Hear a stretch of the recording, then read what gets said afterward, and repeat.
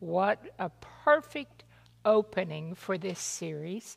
We are once again want to welcome you, whether you're our local member who's tuning in by live stream or wherever you are in the world. We welcome you because you are family. And today we are going to do a the second part of a three-part series.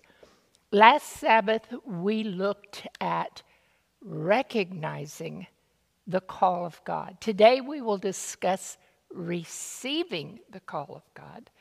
And then next Sabbath it will be responding to the call of God. What's so interesting about when the Lord gave me this three part series, it perfectly matched the three steps that He gave to me when I asked Him for a new way to explain surrender. And these three steps are know God. You've got to know this wonderful, loving, glorious God to be able to surrender to Him. The second step is stop and submit. Stop resisting His love.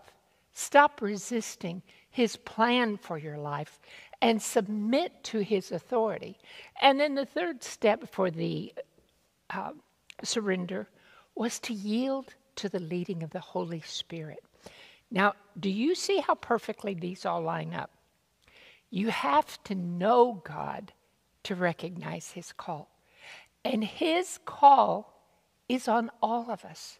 He is calling us to accept him as our Father, to accept him as our Savior.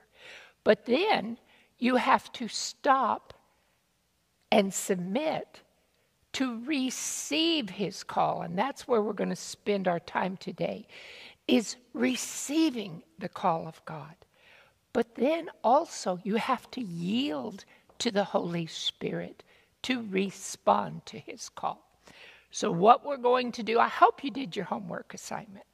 Last week we finished off with a homework assignment, and that was the, to ask the Lord in prayer, What is hindering me from complete surrender? You know, I've taken that very seriously. I've been praying it every night to say, Lord, show me what is hindering me from complete surrender. Let's pray.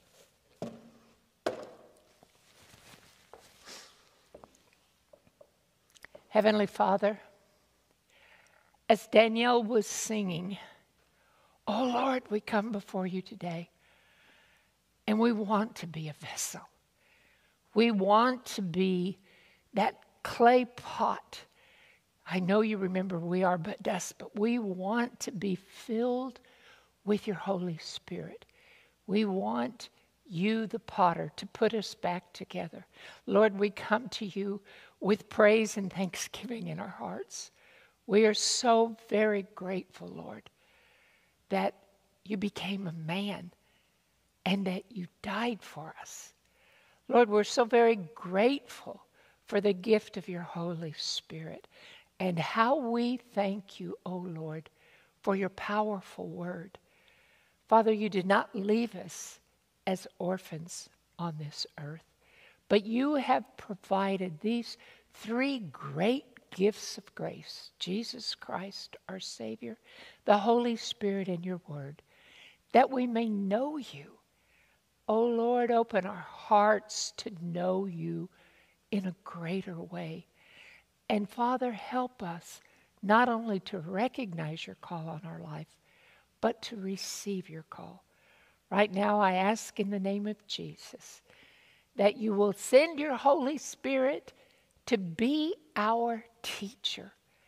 And we trust that you will. Give us ears to hear what the Holy Spirit has to say.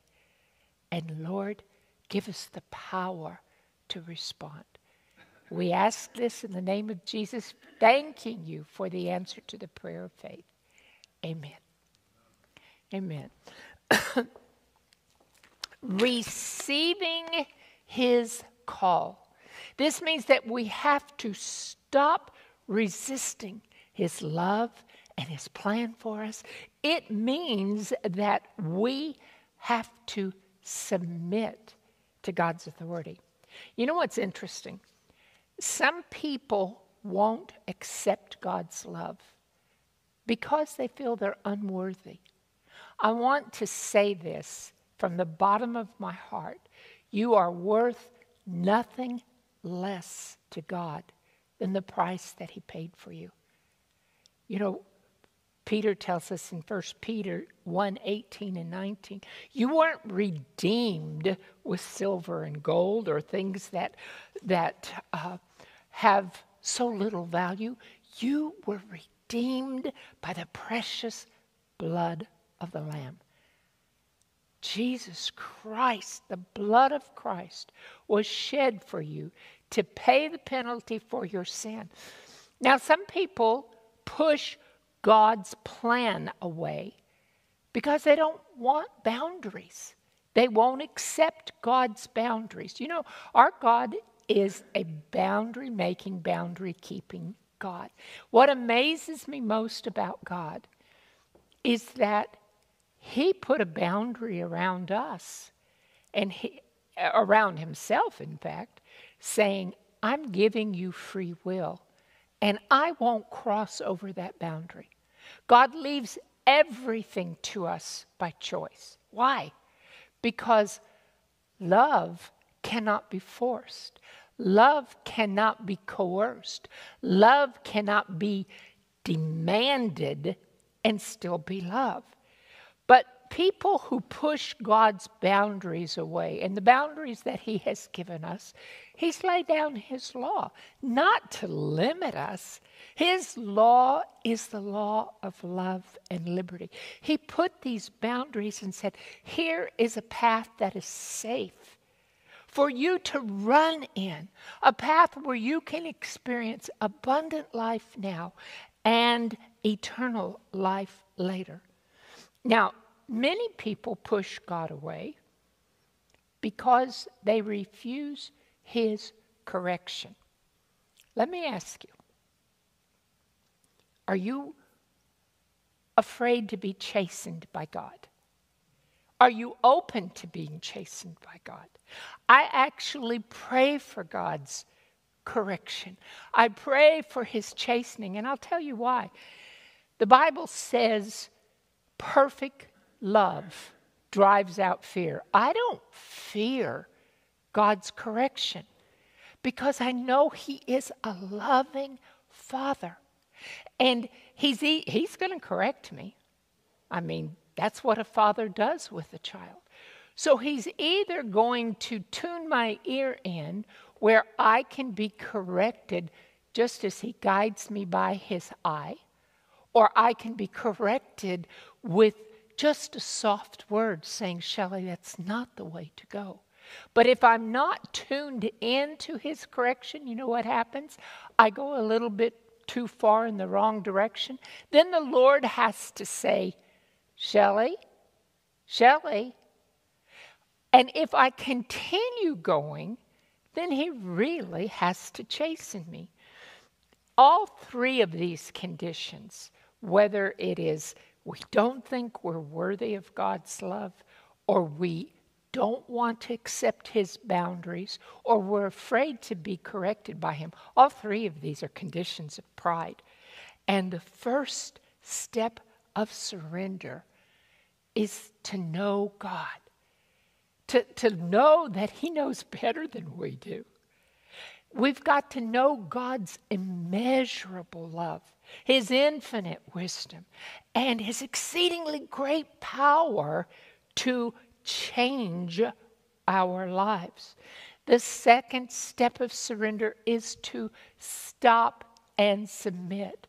Stop resisting His love, stop resisting His plan, and submit to His divine authority. We were looking at Isaiah last week. And let me just, Isaiah 6, let me just kind of summarize that. Isaiah is a man of God, he's a priest, he's in the earthly temple. And he's pressing into the presence of the Lord. And all of a sudden, God expanded his vision of who he was. God shows Isaiah a vision of him high and lifted up. And Isaiah is learning to know God in a greater way. And he is awestruck. And what does he do in the, in the story? It says that suddenly he becomes overwhelmed by his own uncleanness. You know, the closer we get to God, the more we realize if we recognize His glory, His character, we realize how dirty our own robes are, right? They're, our robes are like filthy rags. We have no righteousness of our own. So Isaiah says, Woe is me, I'm undone. I'm a man of unclean lips. And let me tell you something unclean lips means you have an unclean heart. And he says, I live among a people of unclean lips. And let me show you that. If you want to turn to Matthew chapter 12, Matthew chapter 12, we'll begin with verse 34. And we're going to take a little time to look up some scriptures today. I want you to see these things because when the as I was studying Isaiah and I realized unclean lips mean an unclean heart, boy, that'll make you stop and think before you share any gossip or backbite. Matthew chapter 12, verse 34. This is Jesus speaking. And he says to the Pharisees, Brood of vipers, you bunch of snakes. How can you, being evil, speak good things? Now, here's where we understand unclean lips is an unclean heart. He says, Out of the abundance of the heart, the mouth speaks. A good man out of the good treasure of his heart brings forth good things, and an evil man out of the evil treasure brings forth evil things. Then Jesus sums it up this way But I say to you, for every idle word that men may speak, they will give an account of it in the day of judgment. For your words, by your words, you will be justified, and by your words, you will be condemned. Words matter to God.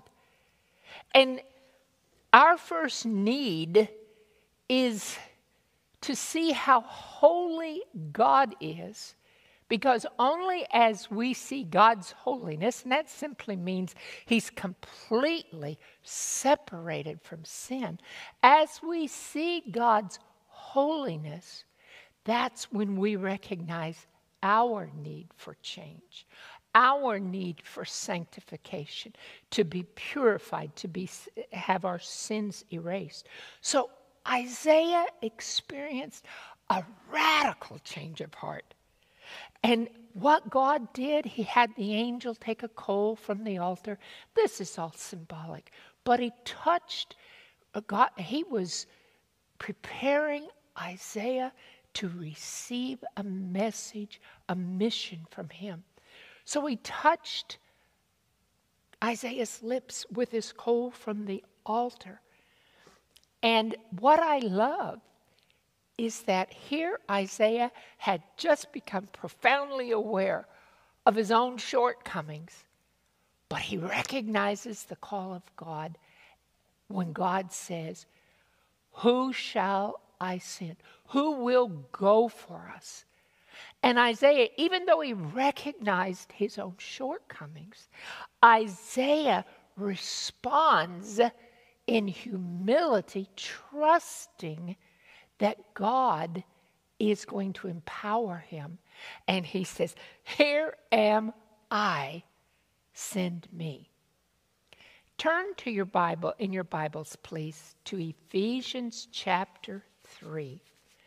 Ephesians chapter 3. Isaiah had complete trust in God's enabling power. Isaiah was ready to be used by God because he knew that he recognized the call of God. He's ready to receive the call of God because he understood God's love. In Ephesians chapter 3, this tells us the beginning point of how we stop resisting God's love and his plan. Ephesians chapter 3, let's begin with verse 16.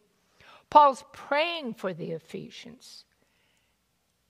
And this is a prayer where I'm praying over you that He, God, would grant you, according to the riches of His glory, His limitless riches available to every believer of His glory. That's His character.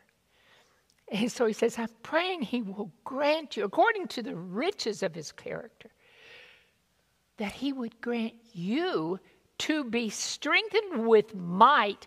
How? Through his Holy Spirit in the inner man. What Paul is praying for the Ephesians, this word here, might, in the Greek it's dunamis. He says, I'm praying that the dynamite power of the Holy Spirit will fill you. Open your hearts, be filled with the Spirit of God. And then he says in verse 17, that, anytime you see that or so that, it's a purpose statement.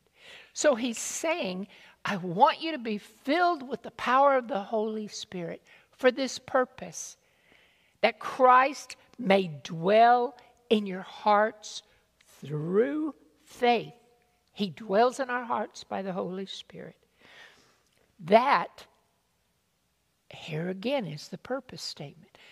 Be filled with the Spirit for the purpose of Christ dwelling in your heart. And you want Christ dwelling in your heart for this purpose that you may be able to comprehend with all the saints what is the width of his love that extends to all people? What is the length of his love that extends to all time? What is the depth of his love that reaches down to the lowest pit of human condition? And what is the height of his love that is higher than all the heavens? To know the love of Christ, which passes knowledge Here's another that.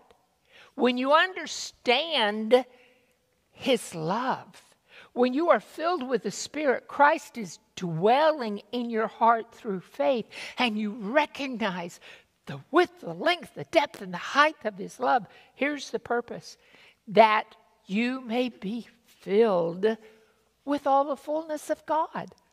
I don't know about you, but I want to be filled with the fullness of God. Turn to 1 John, the little epistle of 1 John. See, the whole reason for us to be filled with the Spirit for the purpose that Christ may live in our hearts, so that we may be filled with love, and that enables us to be filled with the fullness of God. God gives us this love, and the whole purpose of this love is that we will reciprocate that we will love him in return. In First John, let's look at chapter 4 and verse 19. We love him. Why? Because he first loved us. In other words, when you understand your God, our Creator God, loved us so much that he would humiliate himself to step out of heaven, come down and take on this flesh to become one of us, and then humble himself to die on a cross for us. When you realize this self sacrificing love, that God has for you, and that you're worth nothing less than the price that He paid for you with the precious blood of Jesus. You can't help but love him in return. Love, how is love demonstrated? Anybody can say, I love you. I love you. Oh, I love you. But if their actions don't show that, we begin to real that, realize that their words are empty. God's love was demonstrated by his actions. And he wants us to demonstrate our love to him by his actions. He poured out his agape love, his, as the Hebrew calls it, the hesed, that he gave us all these gifts of grace, and he asks us, what is the most important commandment? Mark 12 30. Jesus was asked that question, and he said, Here's the first commandment.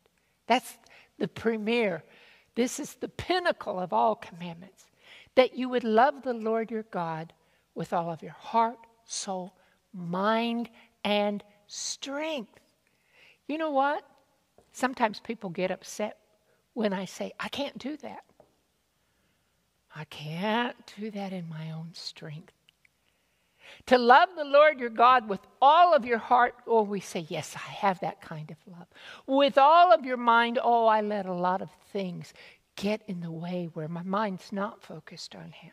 With all of your soul, with all of your strength, eh, sometimes we don't love God with all of our strength. We can't in our own power. And the whole point of this is God never asks us he never commands us to do anything that He doesn't empower us to do.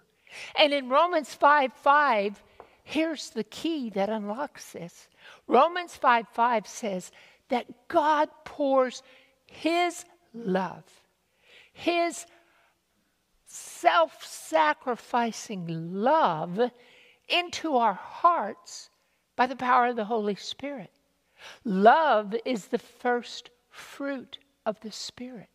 It is only as God empowers us to keep His commandments that we can keep His commandments. And what He asks of us, even though we are saved by grace through faith, not by works, Ephesians 2:10 says that we are saved for good works. And He asks that if we love Him, we keep his commandments, that we walk in submissive obedience, trusting his infinite knowledge, trusting his immeasurable love, and trusting his exceedingly great power for us to do that. Now, our obedience is how we demonstrate our love to God. Our obedience is how we demonstrate covenant loyalty.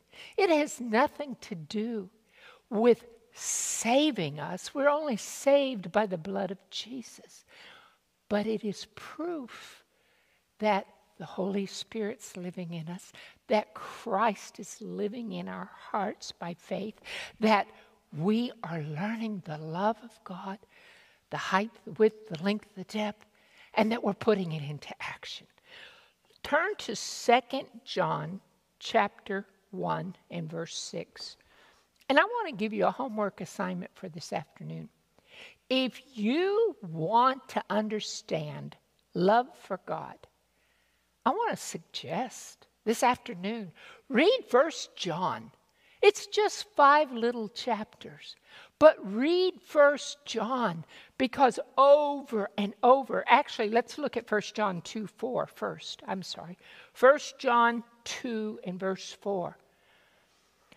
John, in his epistle, shows us repeatedly that to love God is to walk in obedience. First John chapter 2 and verse 4. Ooh, listen to this.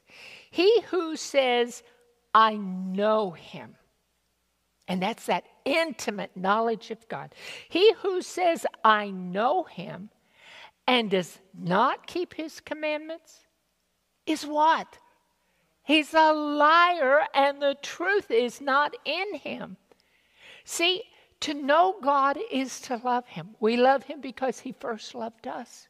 But if we love God, if we acknowledge Him as not only our Creator, but our Redeemer and our Father, we're going to walk in obedience to His love and His plan.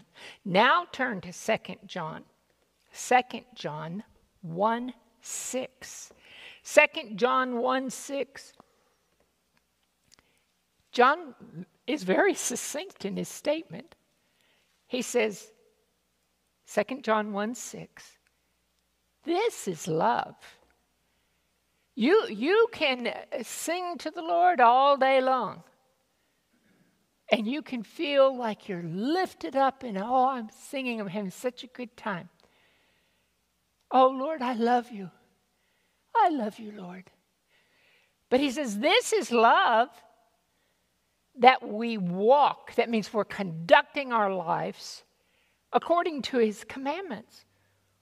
This is the commandment, as you've heard from the beginning, that you should walk in it. Oh, hallelujah. We don't have to guess what actions as God pours His love into us, what actions that should prompt? It should prompt obedience motivated by love. Now, turn back to the, uh, the Gospel of John, because I really want to make this point. The Gospel of John, let's look at John 1 and verse 12. John 1 and verse 12 says, As many as received him, received Jesus Christ as their Savior and Lord. To them, he gave the right to become children of God. To those who believe in his name. Believing in Jesus is to be living in Jesus. As many as received him, he gave the right to become the children of God. When we call upon his name and accept him as our Savior, we're receiving him, but we've also got to receive him as our Lord. And as our Lord, we have to acknowledge his claims on our life and yield our allegiance to Him. I think John so well understood this. In 1 John 3 1, he said, Oh, behold, what manner of love that we should be called children of God. Are you a child of God?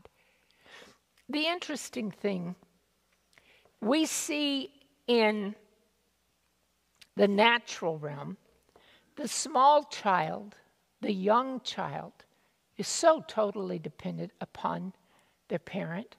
And then as they grow, they become a little more independent. It's just the reverse in the spiritual realm. We've been trained all of our life to be independent. And suddenly we come to a God whose whole plan of salvation is total dependence upon Him. And as we grow in maturity in Christ, we surrender more, we yield more. And the greater the surrender to God, the greater the intimacy with God, we're yielding more to His leading, being emptied of self and filled with the Holy Spirit. And I just have to say this if this little bottle is only half full now. How much can I fill it up? I can pour in half of the bottle, right, to fill it up with something else. Well, now it's two thirds empty.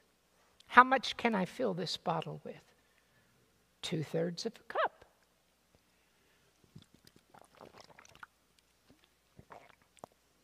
Now it's totally empty. How much can it be filled with? This is us as Daniel sang, as a vessel of God. When we are only emptied of self halfway, that's all we're making room for the Lord. But if, as we grow in maturity, we learn to be emptied of self, we can be filled more and more with the Spirit of God and become like Christ. Turn to James.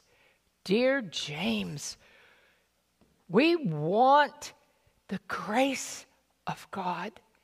So James tells us as we're growing in the knowledge of the Lord, as we're growing in grace, we are going to become more humble. And listen what James 4 6 says God resists the proud, but he gives grace to the humble. You know what the meaning of the word humility is? Paul said in Philippians 2 Let this mind be in you that was in Christ Jesus, who humbled himself.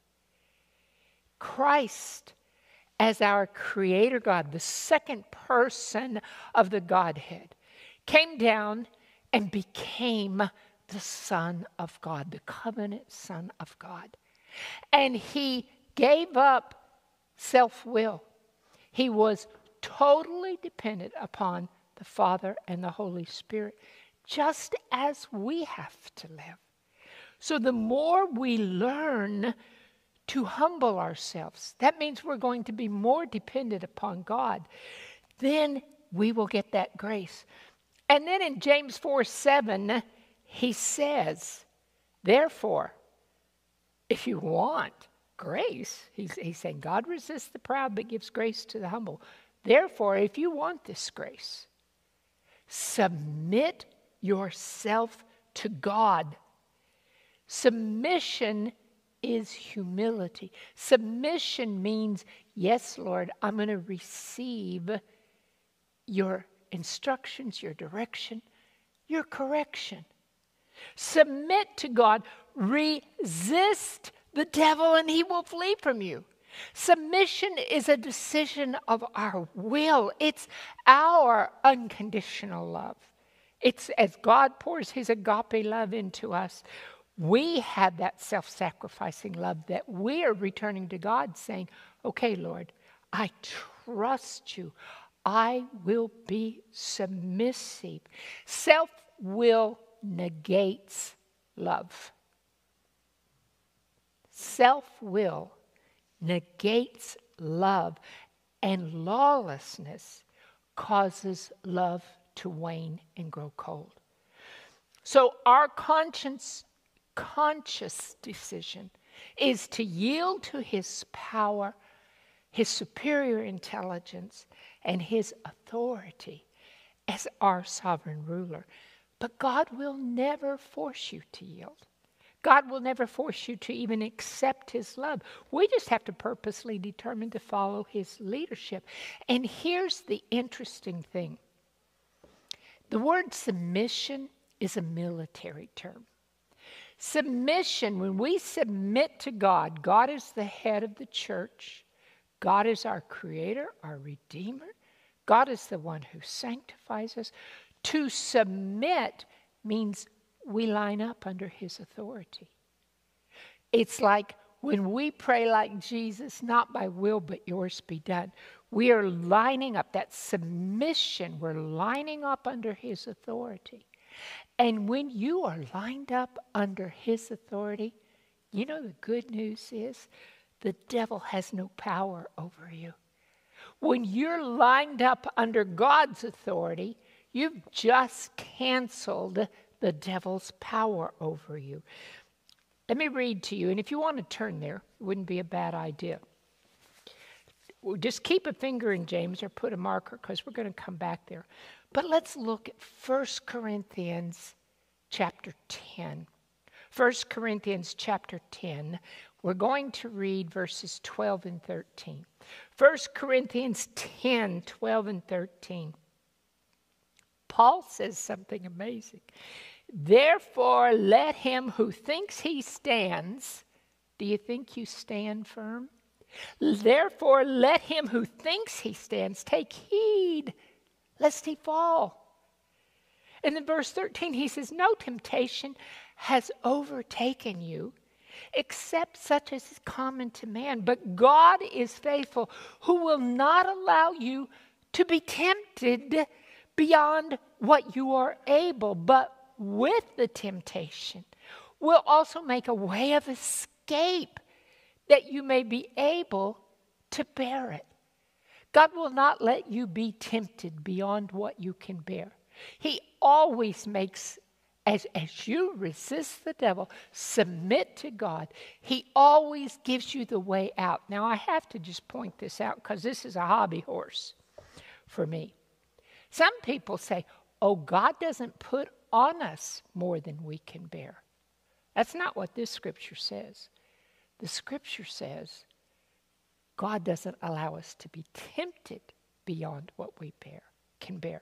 But in 2 Corinthians 1 8 and 9, Paul says, by his own admission, we were burdened beyond measure, above strength. He said, What happened to us? We had a sentence of death on us. It was more than we had the strength to bear. But he says, God allowed this to happen so that it was a test, so that we would learn to depend on Him who raises the dead. So it, there are times, and, and it, I think it, it's frustrating to me when somebody's going through a difficult time and then they say, Oh, God doesn't allow more than we can bear. Yeah, sometimes He does. Sometimes it is absolutely more than we can bear. I've been through a two year trial with my surgeries, it was beyond measure. When you are in an 8 to a 10 pain for 18 months in a row, it was beyond my measure, but God taught me to depend on Him. God taught me to have a thankful heart and just focus on what I did have rather than what I didn't have. And He drew me nearer to Him as I drew near to Him. As a matter of fact, that's James 4 8. If you've still got a finger in James, James 4 8 says, Draw near to God, and He will draw near to you. Cleanse your hands, you sinners. Purify your heart, you double minded. See, as we draw near to God, when we understand His love, when we understand His plan for our lives, you know what happens? Our heart longs for communion with our Savior. And when you're communing with the Savior, when you're pursuing that intimate love relationship with Him, He is so excited. He's got His arms around you. And when we acknowledge our total dependence upon Him to save us, He is going to reach down, draw us up to His bosom, and He's going to help us through. You know, obedience is the highest expression of worship. Obedience brings righteousness and the gift of eternal life. Turn to 1 John 2 28 and 29. 1 John chapter 2. I am a huge proponent of righteousness by faith. People say, Well, do you believe in righteousness by faith? Of course. Throughout the Bible, it tells us righteousness by faith is the only kind of righteousness that there is. It is only as Christ's righteousness is credited, credited to me that I have any hope of salvation. But I, I really found this fascinating. In 1 John 2, verse 28, John says, Now, little children, abide in him, dwell in him, make your home in him, that when he appears, you may have confidence and not be ashamed before him at his coming. Don't you want to have confidence at his coming? And then he says something so interesting. in verse 29. 1 John 2 29. If you know that He, Christ, is righteous, you know that everyone who practices righteousness is born of Him. Well, wait a minute. Righteousness is by faith, right? But he says, hey, if you're not practicing righteousness, you're not born again of God. See, when we are born of God, we're regenerated by the Holy Spirit, we get a new spiritual DNA. Instead of the devil's nature acquired, we get, as the Bible tells us, the divine nature. We become partakers of the divine nature.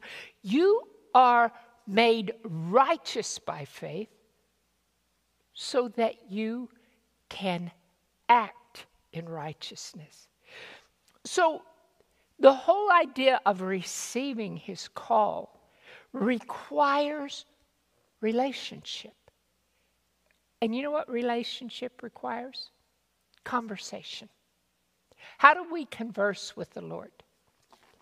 Well, we pick up our Bibles we let Him talk to us through His Word, and we talk to Him through prayer. If you're not having a daily Bible study, if you're not ingesting some of His Word on a daily basis, you are crimping the development of your relationship if you don't let Him talk to you. We have to look at the words not to just study and ask, answer Sabbath school panel questions, but we have to look at the Word so that we can know Him. On an int- the only reason I know my husband intimately is we talk daily. I know his patterns. I know his love for me. And we have to get in the Word of God and let God talk to us. And then we need to submit to His instructions as He speaks to us daily through prayer, I mean, through the Word. And we need to pray to receive His direction. And we need to pray and say, Lord, let me receive your correction. So let's look at those three steps of submission. We submit to his instructions. When Christ was in the wilderness for 40 days,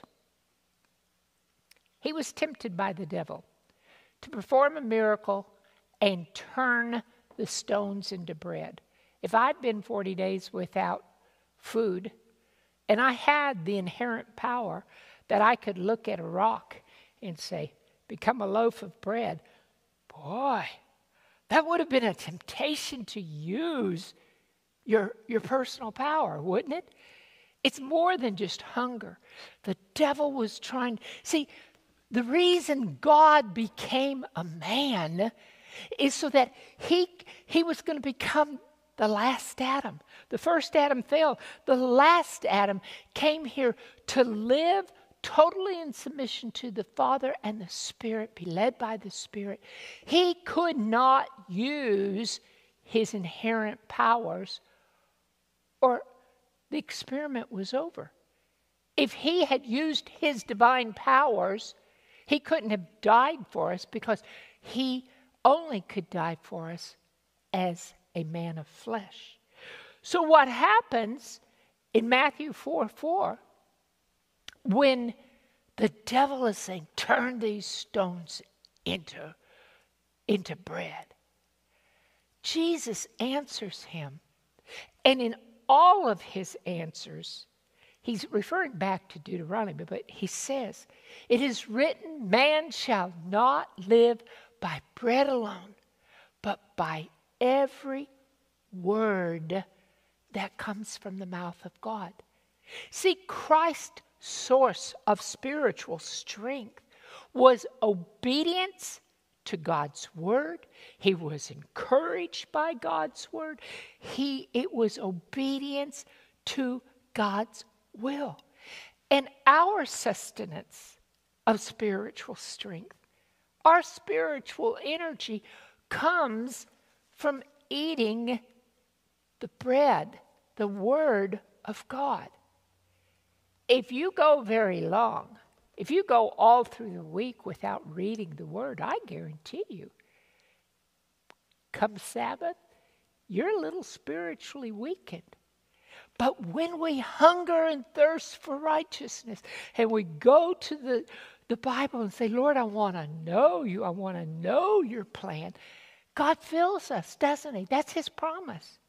We need to learn to take this word and apply it to ourselves personally. So I believe when you ask what's hindering me from total surrender, maybe it's just discipline.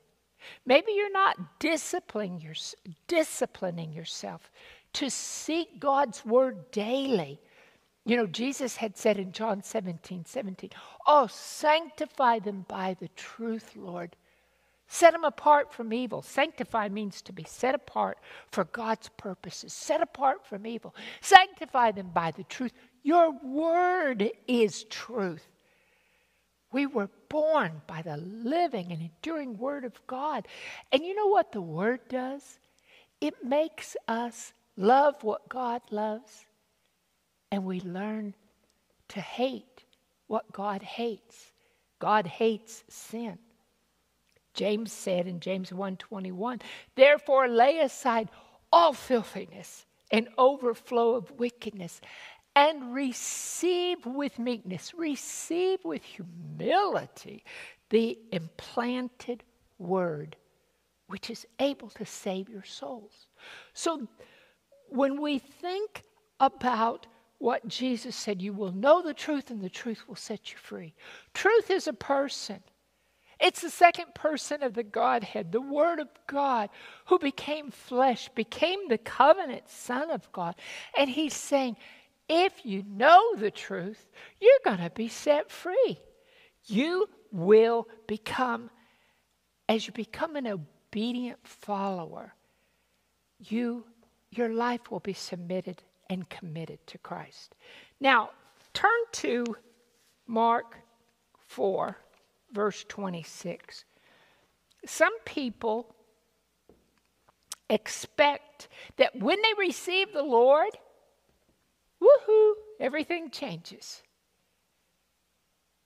You know what? Development of his character comes a little at a time. It takes us a while to, to learn to let go of certain things. So you're not, just because you're not perfect, if you, let, let me read this and then I'll come back. Mark chapter 4. Mark chapter 4 and verse 26.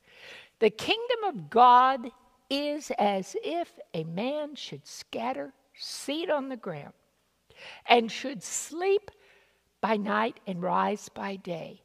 And the seed should sprout and grow he himself does not know how. Remember the parable of the seed that Jesus told? What did he say the seed was?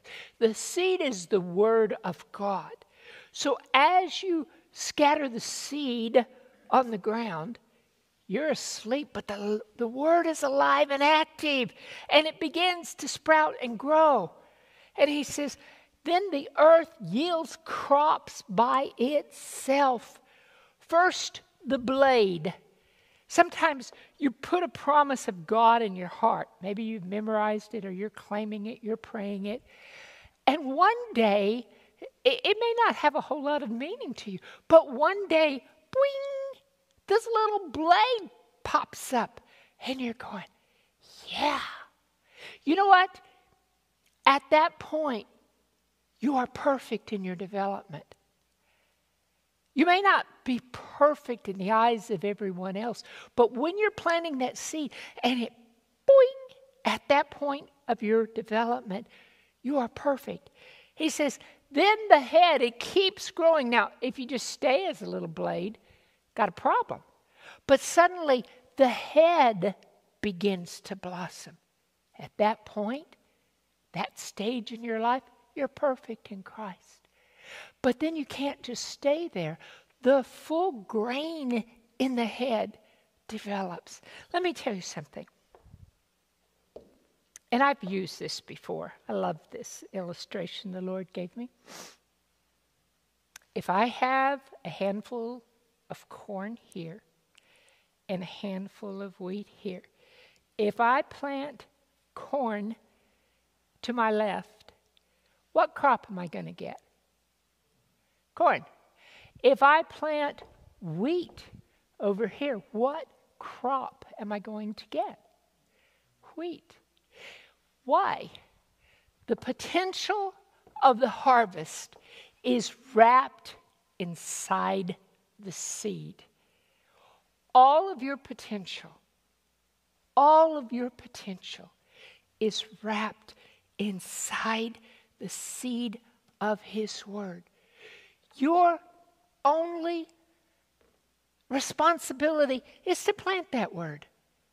Faith comes by hearing, hearing by the word. You've got to know what the word says. If you don't know the promises of God, if you never get into his Bible, you don't know.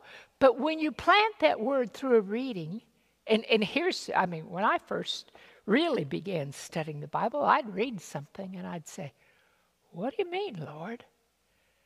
He loves those kind of questions. You don't have to understand everything you're reading. Sometimes I'd read something and I'd go like, Lord, what does that mean?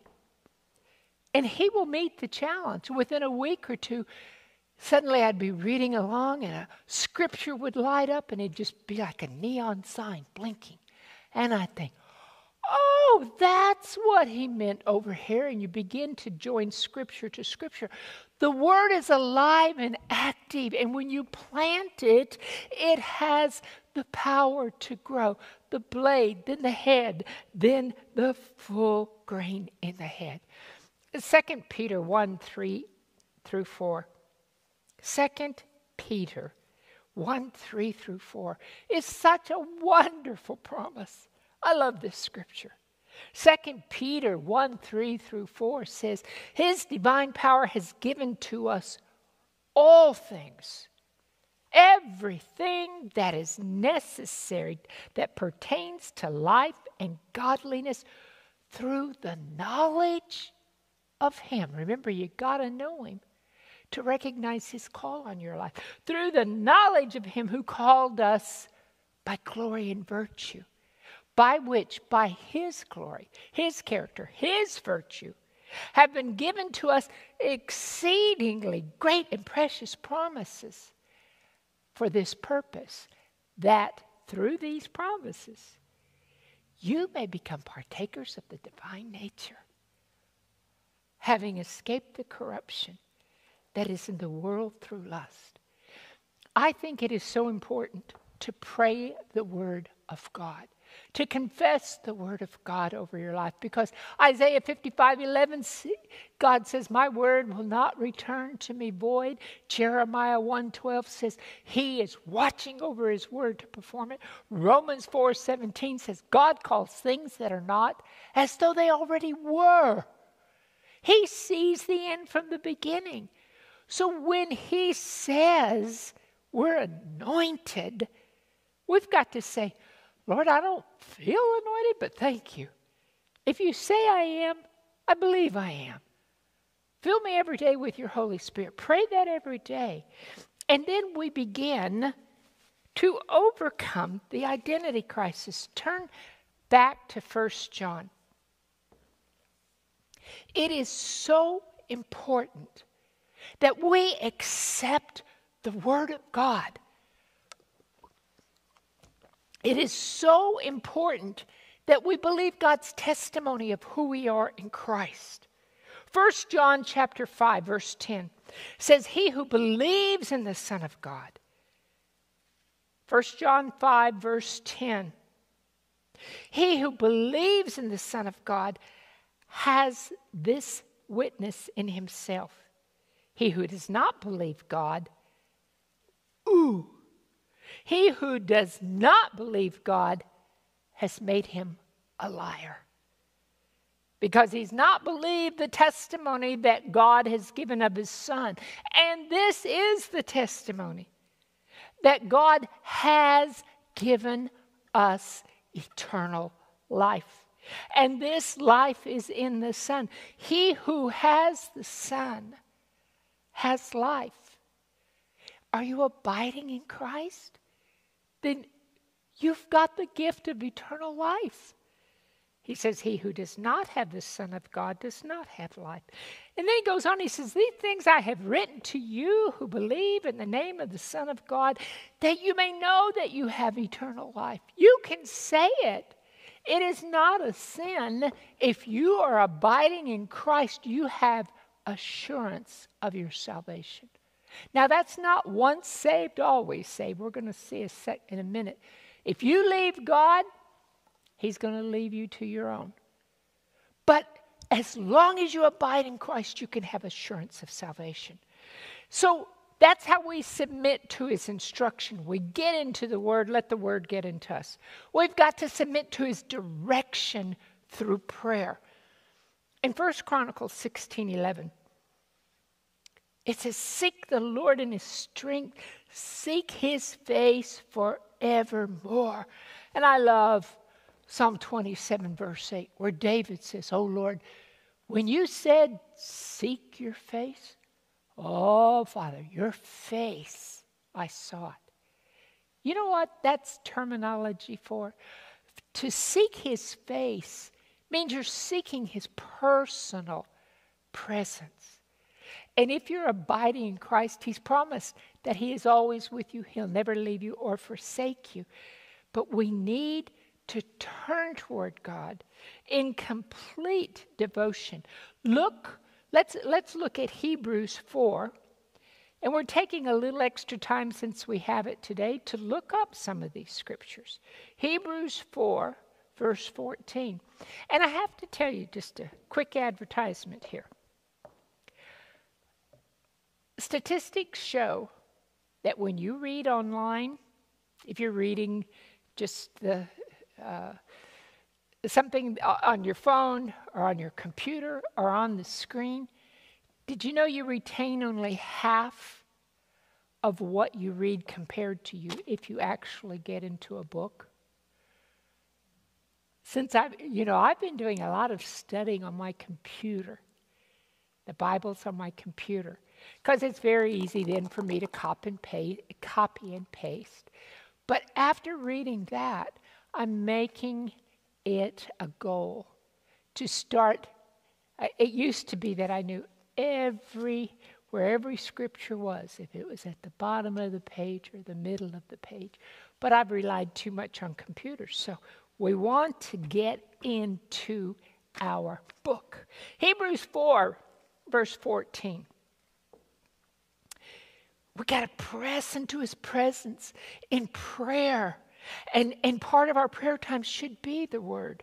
And in Hebrews 4:14 it says, "Seeing that we have a great high priest who has passed through the heavens, Jesus, the Son of God, let us hold fast our confession, for we do not have a high priest who cannot sympathize with our weaknesses, but was in all points tempted as we are, yet without sin. Let us therefore come boldly what does he mean, therefore? We can come boldly to the throne of grace because he understands us. Let us come therefore boldly to the throne of grace that we may obtain mercy and grace in time of need. We all know, most of us know Jeremiah 29 11 through 13, where God says, Hey, I've got a plan for your life a plan to prosper you, not to harm you. And he says, then you will come and seek me. When? When we recognize that God has a plan for us. And that plan includes the power for us to believe, to repent, and turn to Him, calling upon Him in sincere prayer. Psalm 14, 2 says, The Lord looks down from heaven upon the children of men to see if there are any who understand, who seek Him.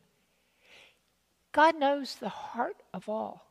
But here, it's, it's just depicting in human terms that He's looking down from heaven, surveilling the actions of men. Well, God's not ignorant of our actions.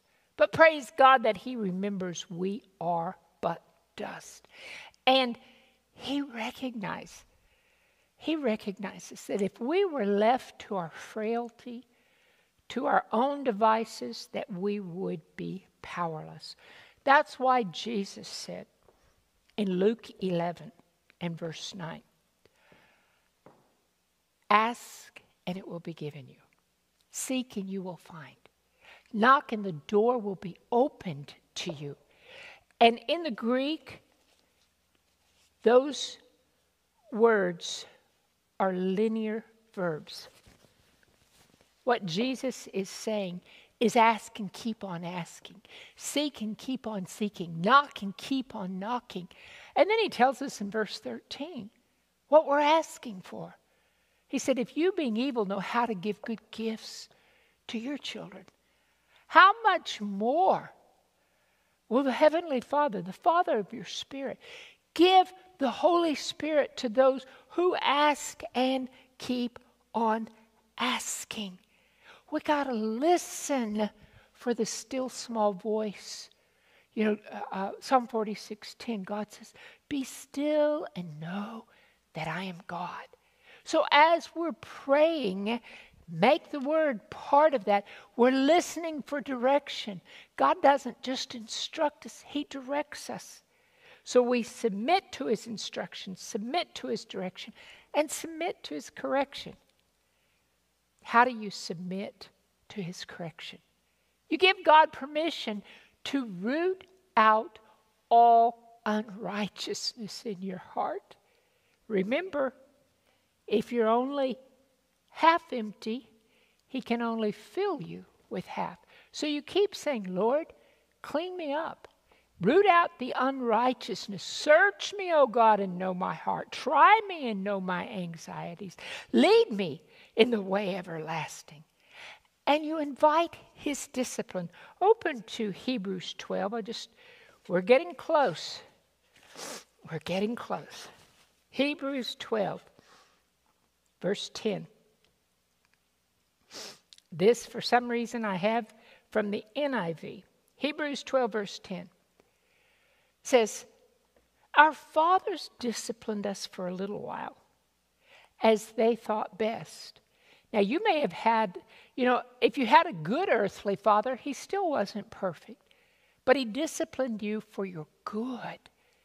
If you had a bad heavenly father, you may have had some messed up discipline.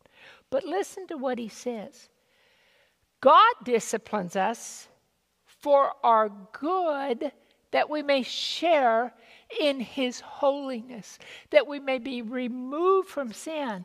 And he says, No discipline seems pleasant at the time, but painful. Later on, however, it produces a harvest of righteousness and peace for those who have been trained by it. You know, God is the perfect Father. There are times that I have come to God and I expect that He is really getting ready to discipline me. Instead, He comforts me. Then there's times that I've come to God thinking I'm doing pretty okay, expecting to be comforted, and He gives me a word of discipline.